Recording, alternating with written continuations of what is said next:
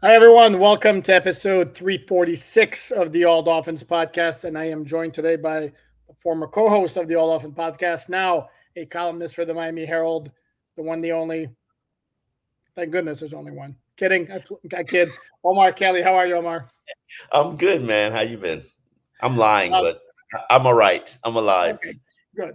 Well, I, have been, I've been, I've been okay too. Certainly, certainly not doing as well as Mike McDaniel, who got himself a nice contract extension on this Friday morning. And obviously, we're going to devote a good portion of this episode discussing that extension. First, let me ask you, Omar, your initial reaction when the news broke on Friday morning. Not really surprised. Um, okay. uh, I know Steve Ross is gleefully happy with Mike. Um, and, and all the years that I've known Steve Ross, all he's ever wanted was obviously wins, a championship, being first in class, but he also wants a sexy offense and a sexy product. And Tua and Mike McDaniel and Tyreek, they all give him a sexy product, probably the sexiest product in the NFL, mm, with the exception of the Kansas City Chiefs. You got any other sexier products? No, no. Once you added the Kansas City Chiefs, I was like, yeah, okay. yeah. I mean, yeah. If you could be the Kansas City Chiefs, you want to be the Kansas City Chiefs. But I, I know this for a fact because I did the the pregame show with WQAM um, all last year. All of these networks before games, because we had all of them on TV, they'd spend 30 minutes of every hour talking about the Miami Dolphins.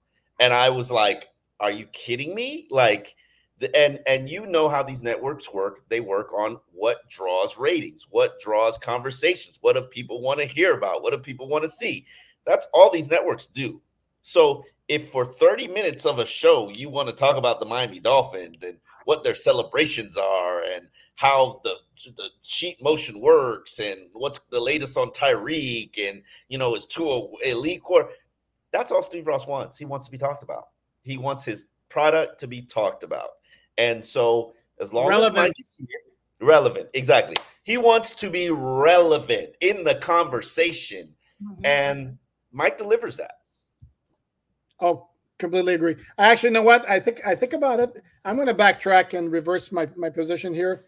If we're talking pure sexiness, I think the Dolphins actually have the most sexy offense in the NFL. It's not the best because again, it hasn't raised up at key moments, but it's the sexiest because what they, for example, what they did against Denver last year, that was like un, unseen. I mean, it, yeah, it'd been done before one time, like many moons ago. But Mike the Merciful, Mike, Mike the Merciful.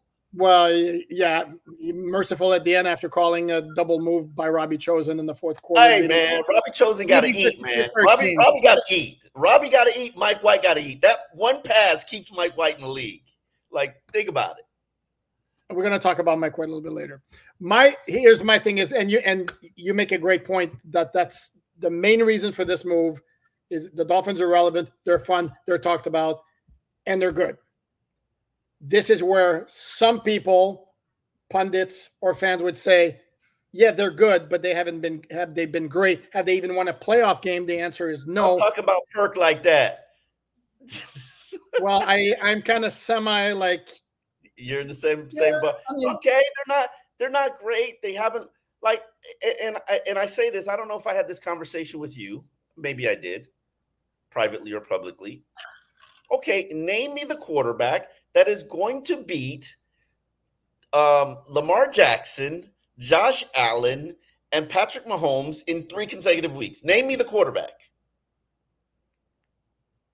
About, first, well, first of all, I didn't know this was a Tua conversation, but we'll talk about Tua a little bit later because we always got to talk about Tua. Uh, uh, but how about we start with one playoff win? Yeah, even, no, even, I don't disagree with you, and, okay. and, I'm not one. I'm not one of those people where it's like where it says, "Oh, playoff winner of the season's an absolute failure." I'm I'm not that dude. I think, and, and I'm not that dude either. But some sort of progress towards that. Yeah, the bar the bar for me is 10 wins. If it's not 10 wins, then something has to drastically go wrong and it could be injuries because Lord knows they're the oldest team in, in the league or or close to it. I haven't done the math, but they're old yeah. as hell, yeah. old and fragile. Um, so and you you know how that happened, how how the NFL it's like I, I can't imagine. I can't. This week, I've heard the NFL's 100% injury rate about four times this week, and that's from Dolphins players and coaches. Like, yeah, it's, it's gonna happen. So, what happens when you lose three starters to injury by week four? Then what? We'll, we'll, we'll see. So I can't really, and you don't know which three starters it's going to be, but you know it's going to be three starters. So we'll we'll figure that out as we go and figure out how they are from a depth standpoint. But to me, it's about being relevant. They're in the hunt. They are one of, as Terron Armstead says, 12 teams that legitimately, realistically begin the season with a chance of winning the Super Bowl. And how things bounce from there is going to dictate that. And that's why Mike got the extension. I'm, I'm pretty sure Chris Grier's had an extension already. Um, it's just not public knowledge, but Oh, you know, probably because there, there's a whole lot. I mean, the whole, the whole, the whole front office is. A, here we now I got the hearts going. The whole front office, a whole lot of kumbaya. But my, my, see, you can't do it. Come on. And you and you are on a MacBook Pro, right? I'll talk to it's because I've got black fingers. That's all it is. That's what it is. Wow. Okay. Uh, my reaction, I'll be honest with you, was it's kind of the same as it was with, and and I'm on record as having said I would have waited with Tua. Okay, that that ship has sailed as Omar rolls his eyes. Oh, I've missed your rolling eyes. Oh, um, you you probably would have waited on Tyreek too. Yeah, like it's it's. Well, they didn't do anything to Tyreek other than guarantee his money, so that's that's a different thing. But with with, I mean, McDaniel was signed through 2025. Again, what's the hurry? He's not going anywhere for another two years. Um, and there's something. This is this is no statement on Mike McDaniel. First of all, got has gotten the best out of Tua. Has made, as you mentioned, made the Dolphin offense exciting. Has made the team relevant and all of that. But the bottom line is the bottom line. And so now, if we if there's no playoff win in the next two years, he will have been a head coach for four years, no playoff win, and now you got him under contract for three more years. Well, no, I mean I, I uh, understand. Like, listen, okay, a playoff win is isn't the end all be all because what's supposed to Dolphins get to the playoffs this year and then they face Patrick Mahomes again in the first round in Kansas City? Like, what do you well, want? Then, then do not say then don't if, if that's the case then don't say your goal to win the Super Bowl. Because I, I, mean, yeah, I, you can't beat Patrick Mahomes on a. You, maybe you can beat him on a neutral field. You can't beat him on his turf. In in in in, in the moon, stars, and mountains must align for that to happen. And I don't think it's just the Dolphins. I think it's everybody in NFL. Like, who's beating Patrick Mahomes? Oh, well, I mean, time, time out. First of all, y- yes, I'm going to go there. If the Buffalo Bills have any sort of half a brain for the third last 13 seconds at Arrowhead, no less, in 2021, they win that game. Can we agree on that? I don't even remember that game. I, it, was that the one that was the most exciting game in NFL history? It's up there. Um, 13 I, seconds they, they allowed Kansas City to gain like 45 yards in two plays to set themselves up for a field goal to tie the game and send it to overtime. I mean, talk about brain starting starting with a sorry. Kansas City's really good. Is that Tyreek was on that field, right? Tyreek caught that slant, caught that uh, crossing route, and then took it, it upfield, right? No, it was I think it was Kelce who caught the two passes to get him. It may have been Tyreek and Kelce. I know Kelce had one of them, but yeah. the problem is, is Buffalo's playing stupidly soft on defense. Number one, this is after kicking to the end zone for a touchback instead of a dribbler to eat up some of those 13 seconds. Anyway, so my whole point here is this notion that Patrick Mahomes is there as long as he's playing, nobody's beating Kansas City. I mean, really? Mm, Lamar, Lamar can, Lamar and Derrick Henry can, but I think that's the superpowers are just becoming gaining more power and and that's why Kansas City had to go out and they had to fortify their offensive line. They had to add new receivers. I mean, this is what's it's an arms race right now in the AFC. Like, uh, I, I think there are four, five teams in the AFC that are superpowers, and then in the NFC, there's what 49ers. Like, okay. Detroit, Detroit, but I, I, I not a superpower. I think they're overhyped. I do. They're good. They're good. I, I, my only my only concern with with with Lions is I'm not a huge Jared Goff guy, but uh, I mean that that yeah. the rest of that offense, that's pretty damn good. Um, so anyway, my whole thing is again, what was it? He was under contract for the next two years. It's not as if he's going until his last year. I, I don't I don't understand the, the rush, but hey, Again, nothing against Mike McDaniel. He's done a hell of a job. You um, never want to go into last year of your contract one year. That that's correct. Then yep. then give him the extension before next season. Mm. Okay. Mm. Mm. No. Mm. I, I don't I I don't care one way or the other. Uh, it, it's it. Let's not let's not pretend that Steve Ross hasn't given guys extensions and then fired them the very same year. Because funny you should bring, funny you should bring that up because it, it's happened not once but twice. Yeah, exactly. It's happened twice. Like Tony Sparano so, and Drew Philbin. Yeah, yeah.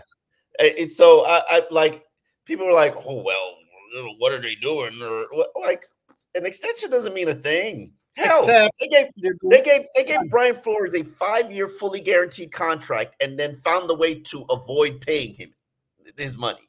Like it's you know these con- which, was, contracts un- which was unusual. It is because it is. the, normal contract for a head coach was four years, and they gave Flores five years. Um, five years, five years fully guaranteed too. But correct. yes, it's it's I I NFL contracts, no matter what they are, they aren't worth the paper that they're written on so I don't I don't take them at all as face value. So I don't care that Mike McDaniel got an extension. It doesn't mean he can't be fired at the end of the season. So I, that's a good that's a good point. Uh, but clearly, this shows the Dolphins are completely all in. At the, at the very least, symbolic, symbolically, with their when, whole thing. When they did when they did an extension for Sparano and Philbin, were they all in? No, no, but it was. It's not just McDaniel. It's also Tua, Tyreek, Waddle, who also got big contracts. And those oh. are those are your. I, I back off. I back off that this team is all in right now. And here's the reason why I back no, off. no, hold on, hold on. I'm talking about they're all in with the, the, the nucleus and the foundation oh. of their team being that that circus offense with the track speed. Absolutely, but I I I I'm not a big believer in that they're all in on this season like they were last season. Because look at that offensive line.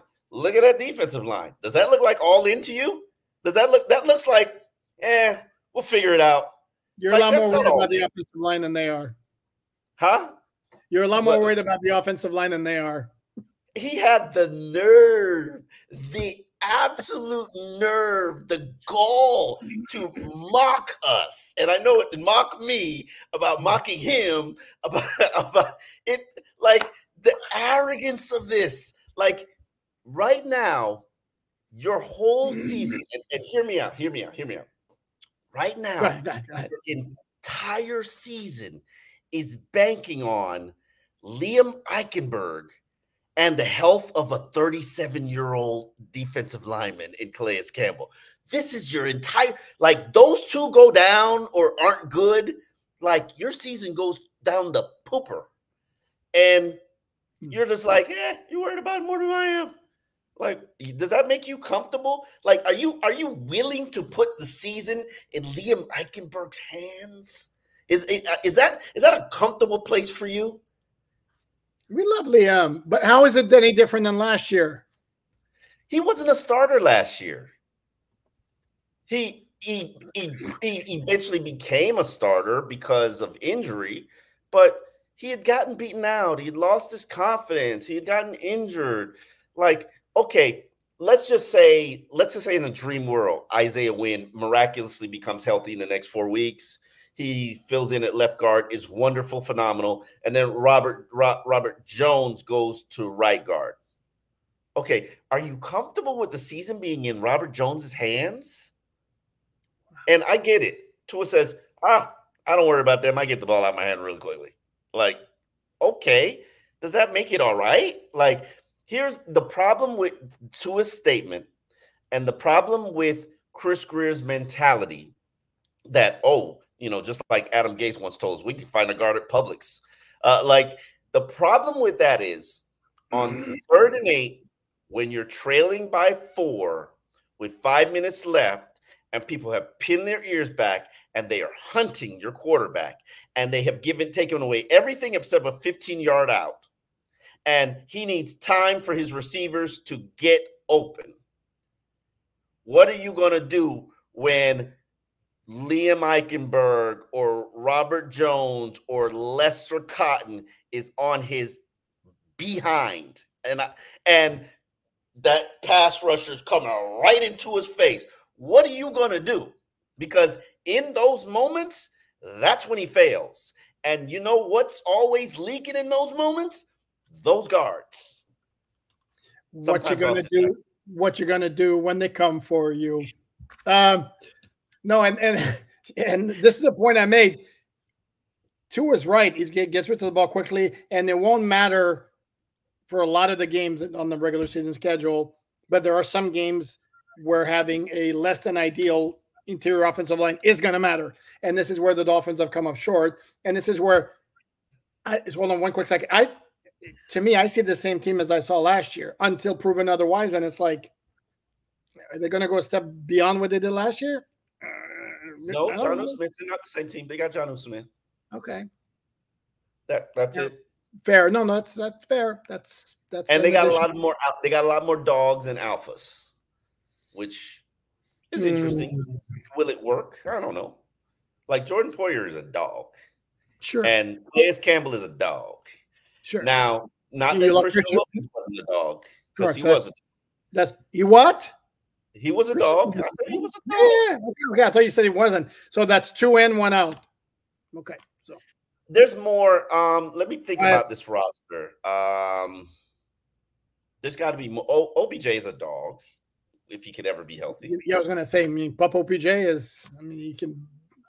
Yeah. So, um, I I just I feel like you know I have I have I don't know what the season is going to bring. Um, I know it's going to bring injuries, and hopefully, it brings uh, injuries that don't decimate the team and don't mm-hmm. decimate the talent around them. I think there are very few spots where they can not withstand injuries. And as long as those spots are all right, they'll be all right. Now, you know, if if they'll like tackle, they're good at tackle. They sustain some injuries.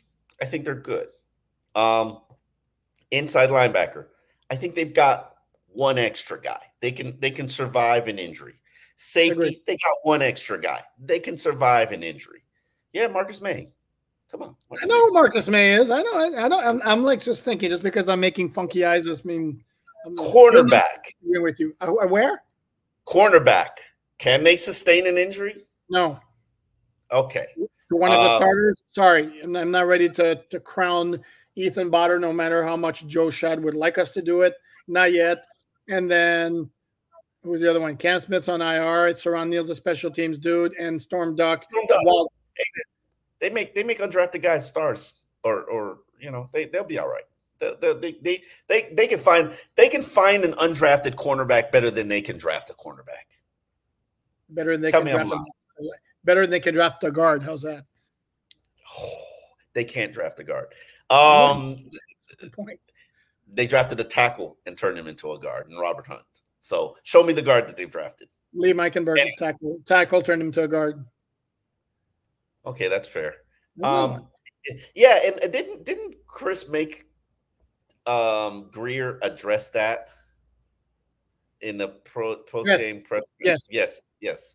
And and it's it's very you know I am as the media member who's most obsessed with offensive line play, particularly the guard. I do find the mocking offensive, and they're they they both do it. Mike McDaniel, and they're both talking to me, and I'm fine with that. But all I'm saying is, if Liam Eichenberg spends another season with half his snaps on the ground, like, like. Um, no, but but again, as I as I wrote on Miami Dolphins on SI, where none of the stories are behind the paywall, unlike some other outlets. sorry, sorry, Omar. Uh, but but Omar's stuff is worth reading and worth paying whatever you have to pay to get on MiamiHerald.com. So does that is that better? Thank you. I appreciate that. Yes. Okay. uh, yes. Yes. Yes. I don't know that and, the offense is free. So there you go. Yes, the Dolphins in Depth podcast with Omar and Barry Jackson. and Isaiah Sorry, and Isaiah Smalls. My apologies, Isaiah.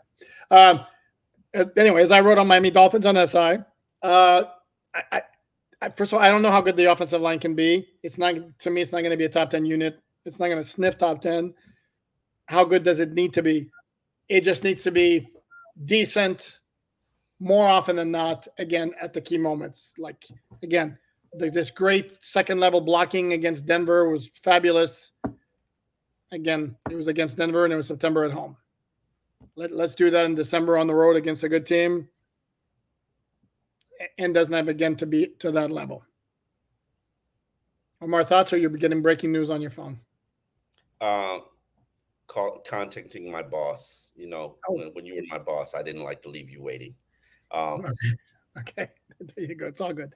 Um, okay, then I'll then I'll keep talking while you do this. Um, no, no, I, no. Okay, I do want to address because you and I it might be time for a little bit of Rock'em Sock'em Robots here. You wrote a column this week for the Miami Herald on MiamiHerald.com without giving it all away, but basically suggesting that Mike Mike White signing with the New York with the Buffalo Bills practice squad was very bad news for the Dolphins. Before, okay, well, the floor is all yours before I rebut. Name me the worst team that Mike White could have gone to. Practice squad quarterback irrelevant. Okay, that's fine. That's fair. Okay. You didn't answer the question. Name me a worse team that Mike White could have gone to with all of Miami secrets. Name me a worse team. With Miami secrets. And this is where the, okay. Where where I take issue with it to answer your question, yes, it's Buffalo, but my my issue with you is the amount of information that he can provide that will be useful. Mm-hmm. Okay. No, useful for Buffalo in week two Okay, let's let, can I let me go. Let me let me respond to that. Okay. Right now, all of their audibles have to change. This isn't negotiable. They have to change. Or the, or you ever played baseball? Yes, and I hated it, but go ahead, continue. Okay, when you did the third base the third base coach signals, there was also sometimes a key that would void everything that comes after you don't think for a millisecond they can come up with a catchword that's going to say, okay, if we say this, disregard anything that comes after, and then they throw in a fake audible. And Buffalo, supposedly, whether if they depend on what Mike White has told them, all of a sudden they're like, oh, wait, what happened there? Okay, touche on your point. Touche. But do you think that they're going to change the audibles or are you going to leave them the same?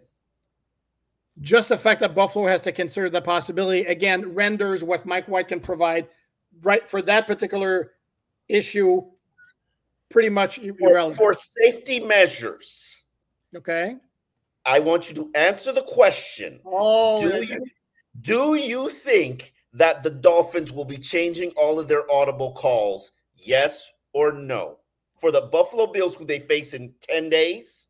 Yes or no? They face them in 13 days, but okay. Um, no, they will not change all of their audible calls. No. Okay, let me move on. Let me move on. Let me move okay. on. All right. What person go ahead on the Miami Dolphins coaching staff knows more about okay Tua Tagovailoa's tendencies, preferences, likes, dislikes, what he's looking for on third downs, how he reads the safeties, what who knows more of that information outside of his quarterback coach than Mike White, the person who does his breakdowns for him. Okay, again, my question to you, you're right, but again, how can this practically apply to where they're going to tell him, okay, this is it. This is what he likes to do on third down or whatever. This is what he looks for. When you're when you're defending a play that the Dolphins are running, how is that going to come into play where you got Tyreek Hill going? And for, first of all, and this is beyond what's already on tape. Like yes. you don't think there's not this tape. Is, and that's my point. This is beyond what's going on tape. Now you intimately know what Tua does not like. You intimate. If you're the Buffalo Bills, you have an intimate knowledge of what Tua does not like. I think it's and, known already, though. That's my point. And no, that's my no, whole no, my whole thing with it. You, don't from, you don't have it from the horse's mouth. You have this it on. Knows, you have it on tape. It's been there for two years. Tape, you suspect he doesn't like it, or you suspect he struggles with it.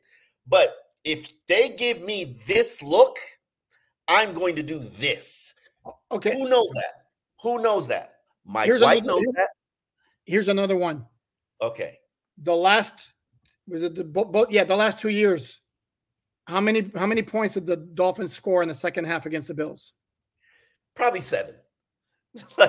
Correct in the two games. In the two Yeah. games, seven points. Does Buffalo really need to have some insider knowledge to know how it to might be zero points now. It might be zero points. Is my point. Um, listen. Okay, let me let me go another one. Since you since you want to poo poo those two, okay? No, I, I, not- I like you and I on, let me- respect. I like you and I respect you. I just completely disagree with the premise of your. I know, but we're, we're having a conversation. We're having. Okay, This is why okay. we were. We're having a civil conversation. Okay. You and I know the Jonnu Smith package. We've seen some of it.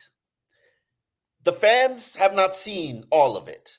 Preseason, they showed it. They give you a little taste of it for in, in game two to send send a warning shot to the rest of the league. You need to prepare for it. You and I know that they have to prepare for it. Okay. Now, who knows? This is a package that is going to be secretly released to the league in doses, and Mike McDaniel is going to use it to his advantage when he Drip needs. by drip. Yeah, drip by drip. Who knows the whole package? Hold on. Uh, hold on. Hold on. Mike White. And who is relaying the whole package and drawing it up and explaining it to the Buffalo Bills? again but but here's my point again first of all how many plays how many plays do you imagine for do you think it's a secret for the buffalo bills that if Jonnu smith's going to be on the ball hey wait a second chances are they're going to target number one number two how many plays do you think there are in the playbook for Jonnu smith. Oh, in the playbook? Yeah. Per game or just in the playbook? in the in the playbook. I think there's probably a 50 play package for Jonnu Smith. okay. And how I many think- I- how many of the How many- 50, 50 plays do you think could could happen against buffalo? Five. And you have no idea which five. okay. Do you honestly think buffalo is going to like meticulously study all 50 plays for John all smith? it takes all it takes is one play. You know this league is this one play decides a game. And it could be that Jonnu Smith play, it could be any play. So um give me one second. Yep. And again, while while Omar steps away for for a second here, my whole point on the whole thing is first of all is the playbook is this thick, and I'm making a gesture here for those listening on the audio podcast of I don't know how much this is. The playbook is really, really, really thick. What Yeah. Buffalo's going to get is But but here's my point. It's a section, it's a section of the playbook, but you know that that is going to take time away or practice time away from the Buffalo Bills. They're going to have to dedicate at least two periods of time in their short week to prepare for the Jonnu Smith package. Now, it certainly helped to prepare for the Jonnu Smith package if you had all the plays or you had a guy who knew all the plays. Now, okay, let's put that to the side. All right, No, let's put that to the side. The cheat motion that people call it the cheat motion that Miami does. It's a revolutionized way of playing. It skirts the rules, but it's not illegal. Everybody's trying to replicate it. Everybody's trying to figure it out.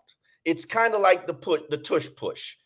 Maybe you could do it, or maybe it's Tyreek that makes it work. You don't know. But you Hmm. know, you know who knows the intimate secrets of the cheat motion and what Tua is looking for and when the ball's going to be snapped and when when when what about Tyreek's stance when he's going into motion? You know who knows intimate knowledge about the cheat motion? it's on tape. They've done. They, It's on they tape, but you don't know that here. You don't know what the triggers are. It could be on tape, but you have no idea what the triggers are. You You don't don't think they, you don't you don't think they picked it up on tape? For No, I mean, for they- oh man, okay, There, there is there are certain triggers that Tua's looking for for when he, to snap the ball, and and certain thing. The, it's it's it's called a cheat motion for a reason. Be- And I because he's moving forward at the line of scrimmage when he's not supposed to. That's why it's called a cheat mode. Oops, did I say that out loud?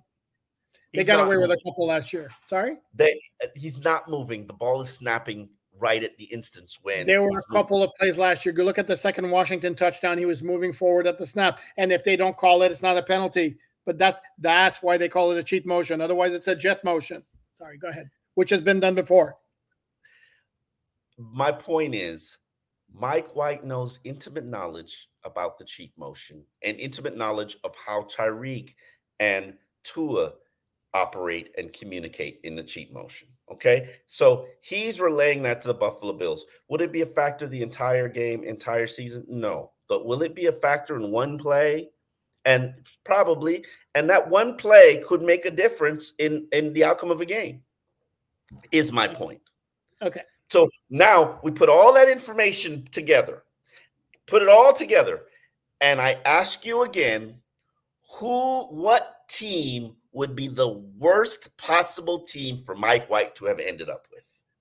It, will make a 0.3% difference with Buffalo, and maybe the rest of the team would be 0.1%. How's that? That's the rest of the team. Oh, okay. Yes. I, I, I just I just don't buy and and this comes up every year. What information can you glean from a player? And the the, the another issue is if Mike White inundates them with schematics, hints, tips, and all that, it's going to be information overload. The mm-hmm. Bills have seen what the Dolphins do on tape.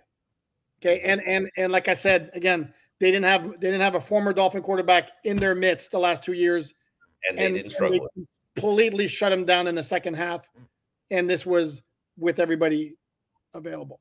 So, yeah. Again, I, I, I may, dude, I may be wrong. I from where I sit, it really is not consequential. To me, it was the bigger story was why would the Dolphins not try to bring back Mike White to the practice squad for their own? Sorry, I think they clearly were. I think this is a preferable. Come on, Tim Boyle. Like for real? Well, no, like that was exactly my point. And, and yeah, yeah. I mean, they clearly were, and I think Buffalo. I'm dying to know what Mike White's making as a as a practice squad player because, you know, Buffalo clearly made him an offer he couldn't refuse. And why would they make him an offer he couldn't refuse? Because I think it'll make a difference in that Thursday night game. Well, no, it, the part and of that, that Thursday night game might make a difference in who wins the AFC East. It also could be that Mike White didn't particularly care for the way he was uh, handled. Okay. Set up, set up or handled during training camp because set up. Okay, let me ask you a question. Would you would you not say but by the way, this is with the caveat that Skylar Thompson outplayed Mike White in the preseason. Okay. Would you agree or disagree with the idea that this the conditions were made more favorable for Skylar than for Mike White throughout the summer. I would agree with that, and I and I, I and I would argue that maybe some of the conditions weren't fair, but set up. Hmm. Well, that, that, that's I, I, I'm you sorry, know I'm a conspiracy theorist, and I'm like, I'm, I'm entertaining this setup, and I'm thinking to myself, like, okay, I'm starting the game against Tampa. I finally get my start, and I'm going against Tampa starters. Like, not only that, but Skylar White, uh, Skylar Thompson got a full first half in the preseason opener, and Mike White was like, "You play the first quarter against the Tampa Bay starters, or most of the first quarter, and then we'll yank you halfway through the second quarter." And then we put Mathos out there at right tackle. Uh, uh-huh. Yeah, then to yeah, get smoked uh, on a third down play. Uh, even even if it was because I always just I said the whole time I'm like, yeah, I don't believe this is going to be a competition because last year it was a competition, but it really wasn't a competition. And I didn't think that was fair to Skylar. And then we flipped it and reversed it. And it was a competition, but it really wasn't a competition, but it went the other way. And you're right. It, That's it, a great point. It, it, you know, it, it, but I thought Skylar outperformed him last year, but it wasn't a competition. See, see, to me, I thought I thought they were fairly even, but you, you actually make you make a very, very good point, and hat tip to you there. Uh, that last year, yeah, the Dolphins had gone out and signed Mike White as an unrestricted free agent. And it was like, there's a reason we went out and got him. That's going to be, this was almost like a boxing match, especially back in the old days where with, if you're the reigning champion, you, the other one better beat you decisively. Well, that was the case. And then this year was like, well, Skylar has shown some progress. He's our draft pick, and we can save 3.5 million. Yeah. Million off the cap if we dump Mike White. So I, Mike White had to massively to, overperform. I, I think it had more to do with money than performance. Neither neither were impressive in training camp. I think Skylar showed you the improvisation that you need to be to have to win. But I would say this: if if talent level was equal, Mike White would probably execute the offense better than, than Skylar could. But Skylar can make things happen off script plays. And I personally like that quarterback. But Mike, you know, Skylar's high and low. Um, he, he has got that Matt Moore thing to him. Now, is he as polished as Matt? No. But and Mike White is just, eh, just you know, just correct. So you know, props to Skylar for Skylar wanted. There's no argument there. Skylar wanted. Mike White can't even argue that Skylar wanted because we're watching the daily stuff. And even though it wasn't even fair, Mike didn't do nothing. There was like one day he had a good day. Um, and this isn't just think about it. This isn't just what we've seen. Remember, they had there were days where Tua was not practicing, Tua was not doing 11 on 11s. And realistically, the team made a strategic decision. You know what? We don't need to see 11 on 11s. Let's do seven on sevens more because two, we actually get to see Tua. And Mike is not doing nothing over here. And Skylar is not doing nothing over here. So they had seen far more than we got to see. And what we saw was, eh, it's mediocre. Completely agree. Completely agree. Uh, final thought before we wrap it up. Uh, I don't know if we will get to do this again before the start of the regular season. So as we head into the regular season, 2024, would you care to make a prediction on the record or just you share your overall thoughts on your level of confidence on this team? Um, I think they're a 10 win team. I think they're a double digit team. Can I predict that they'll win the AFC East? No. I don't know how good Aaron Rodgers is going to be. I don't know whether or not Josh Allen is going to find some weapons or magically say Stefon Diggs. Who cares? I, I got this. Um, and so I, I, but I know that they're a talented team. I, I like a lot of the talent that's there. Um, I think they should have a top five offense. I have more of a concern about the defense than I do of the offense. Um, but so 10 wins. I don't know if I can predict playoffs. I damn sure I'm not willing to predict AFC East champions. Um, I'm damn sure not willing to predict a playoff win because I have no idea who they face in the first round. If they face Pittsburgh, okay, I can give you a playoff win. If they face Tennessee, okay, I can give you a playoff win. If they face Baltimore or or or Kansas City, nah, I can't give you a playoff win. They haven't proven that. And then also, I don't know who throughout the league is going to get injured. Hell, we can have Aaron Rodgers injured for a second straight season, mm-hmm. or it, who on the Dolphins could get injured? One with block, we might be done with Tua after four games. I don't know. Um, so that that's that's why they play the game. Um, but I do expect my expectations are ten wins for this team. Okay. Um, if they get to more than that, then goodness gracious, they they they. I remember when in December we thought they were like Super Bowl contenders. Maybe not you, we, me, and then the wheels fell off.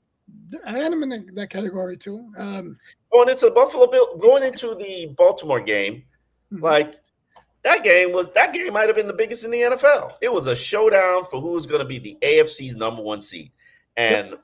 the Baltimore Ravens pimp slapped them, and and showed you you're not in our weight class, and that's what Miami's had to have done the last year.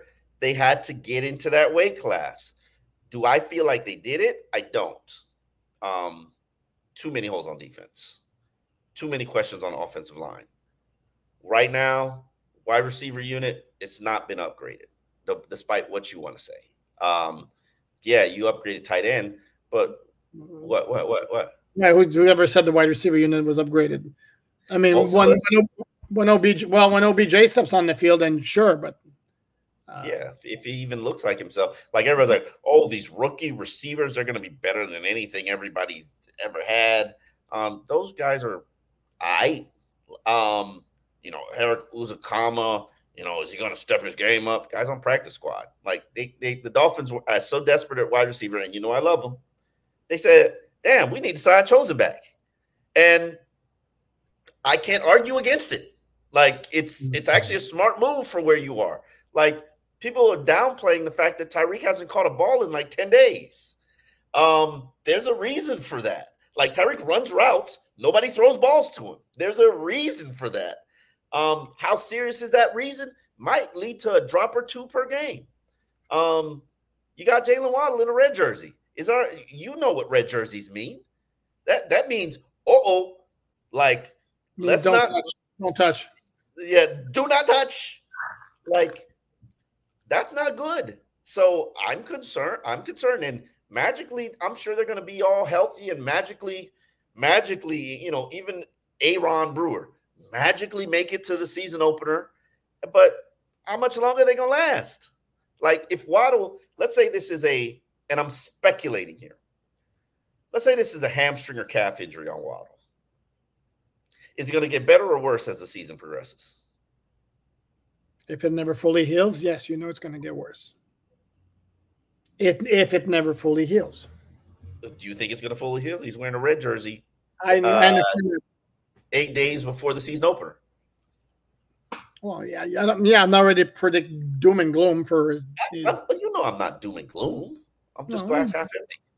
no, I'm not doom and gloom. yeah, that's I, I kind know of I am. yeah, yes, you do. Uh, I think that's going to wrap it up.